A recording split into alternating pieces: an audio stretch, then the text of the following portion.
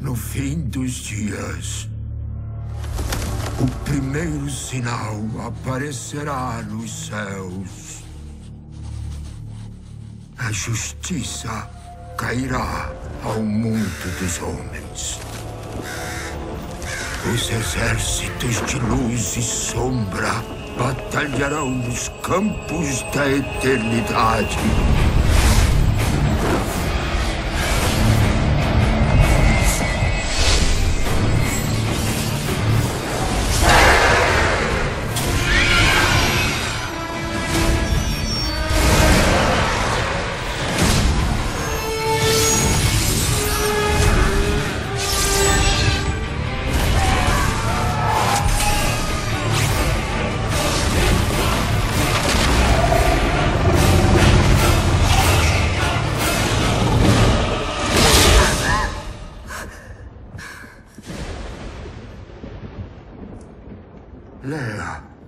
Está tudo bem, querida? Não foi nada, tio.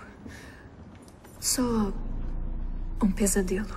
Vamos voltar para casa. Ainda há trabalho a ser feito.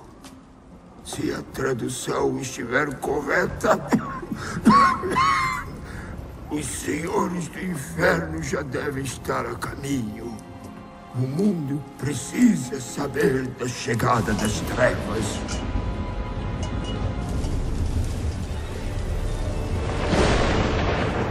Você acredita em mim, não é, Léa?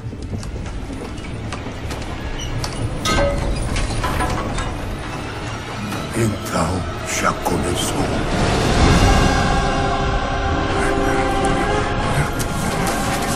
Deixa, tio. Não é importante.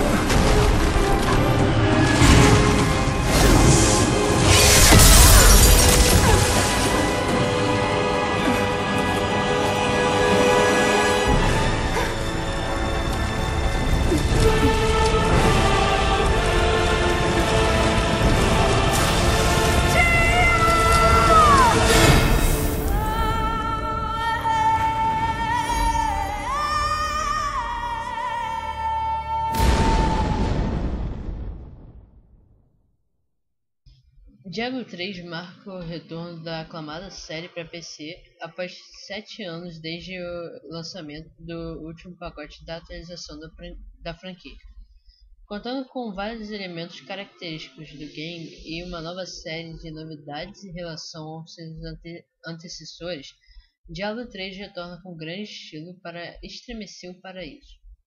Após 20 anos desde o desenvolvimento ocorrido do Diablo 2, em que Mephisto, Diabo e Baal foram derrotados, o terror retorna ao mundo de Sanctuary. A Wordstone, que defendeu vários habitantes da região, é destruída e o mal novamente retorna a Trista. Encarne um herói e percorra essa inquietante aventura contra as hordas demoníacas para garantir a segurança do mundo. Diablo 3 apresenta-se uma perspectiva similar aos seus antecessores. A câmera, a câmera ainda é posicionada de modo isométrico. Isométrico. Perspectiva isométrica. Perspectiva cujos eixos de comparação são iguais.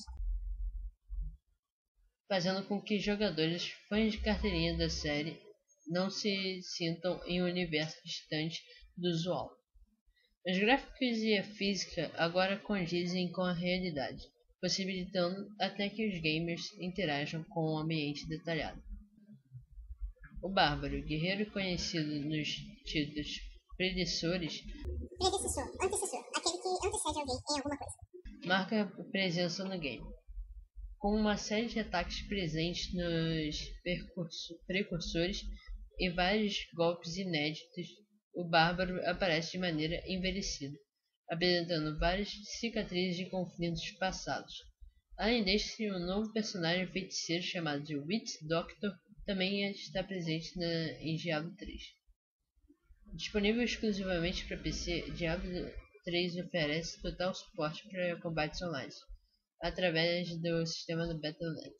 Além disso, o game ainda oferece horas e horas de jogo no modo de um só jogador, por conta da variação randômica nos eventos e ambientes que abrangem Diablo 3. Bom, agora vamos a Sonic the Hedgehog 4, episódio 2.